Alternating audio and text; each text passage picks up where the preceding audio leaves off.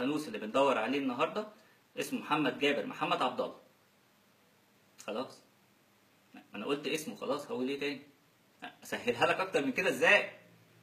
طيب عموما هو اسمه الفني ملوش علاقة باللي أنا قلته ده خالص وكان في مدرسة المشاغبين وهو رومانسي دائما وكوميدي أحيانا دخل التاريخ وفرجنا عليه.